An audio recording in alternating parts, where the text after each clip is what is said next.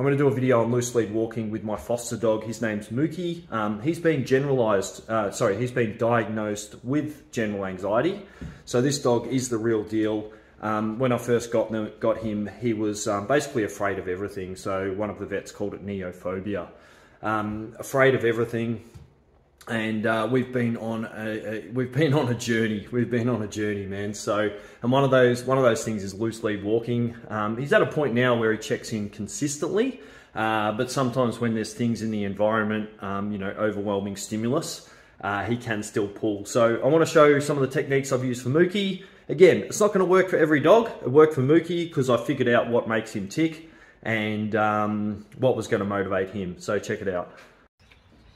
Okay, so the key to teaching a dog loose lead walking is to start in a familiar environment. So here you can see I'm at the side of the house. There's very, very little or no distractions whatsoever. And I'm just building up some repetitions uh, with Mookie, uh, walking up and back.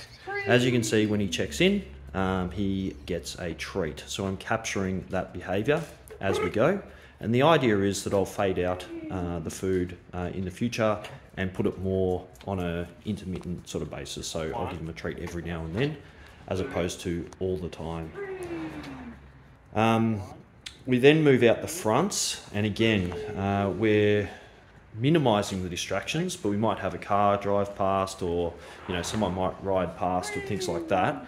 Um, but here we want to continue those reps and just watch Mookie's body language the whole time to make sure he's comfortable. Okay, so now we move to street level and I'm on a quiet road, um, but you can't see on the video, but there's actually quite a bit of activity here because I'm near a school, so there's a few people around. So to keep him engaged, um, I continue on with the one, two, three game. Now, I'm sort of doing this quite a lot on this walk just for the purpose of the video, but Mookie and I have got to the stage where we faded that out a fair bit. One. And here we continue on. Two. And, um, you know, it's not perfect. Um, he's showing signs of uh, stress. You can see he's heavy panting.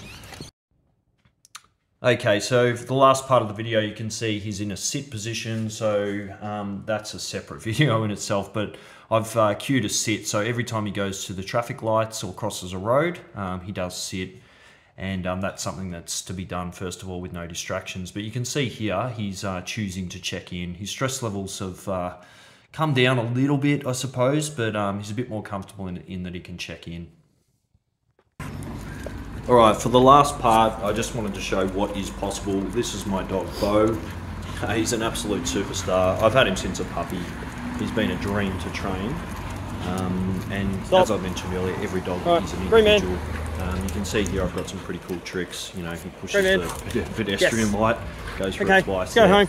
Um, but on this walk, I've uh, there's no Let's lead. Go. I do have a harness on him just in case, because yep. you never know, something might kick off. Um, so I need to attach it, but there's no lead.